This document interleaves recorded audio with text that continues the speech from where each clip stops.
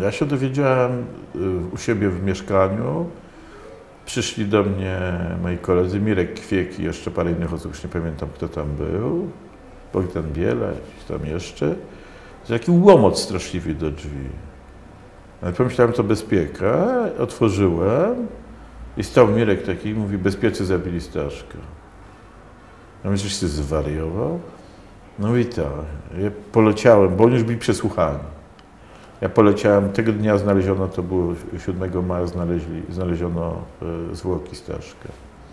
No i wtedy ja, ja poszedłem z, z Jackiem Nowaczkiem i z Iwoną do, y, najpierw do, usiłowałem do, do Zakładu Medycyny Sądowej dowiedzieć się coś, nas przegonili, ale tak pytałem różnych ludzi, domyśliłem się, że zwłoki mogą być w prosektorium, najprawdopodobniej są w prosektorium, poszedłem w prosektorium, dałem w łapę temu cieciowi, on wyjął na szufladę.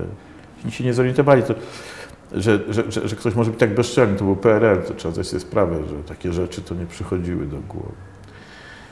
I myślę, że jestem tym krewnym, do którego się podałem. Ja powiedziałem, że jestem bratem w ogóle chyba.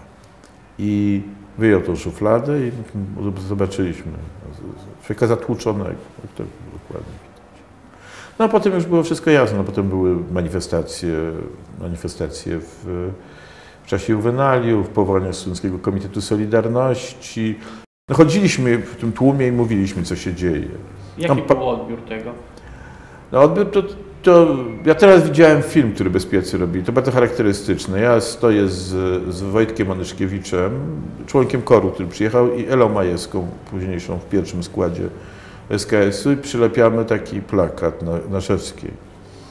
Ale to jest PRL, kolej jest taki, jaki jest, więc przylepiamy, chcemy odejść, a plakat się odrywa. I tak się tak parę razy powtarza, a ludzie się boją. Przychodzą, odsuwają się, ale stają w odległości kilku metrów. I wokół nas jest taka próżnia, już jest tłum daleko, jest próżnia.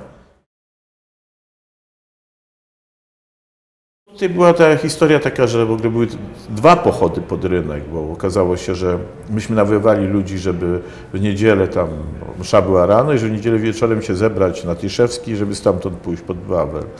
I kiedy przyszliśmy tam wieczorem, to już okazało się, myśmy wiedzieli, kto przecież kto jest kto, że tam były takie ileś, taka, ileś szeregów ubeków, którzy usiłowali zablokować tą Szewską i zablokowali ją.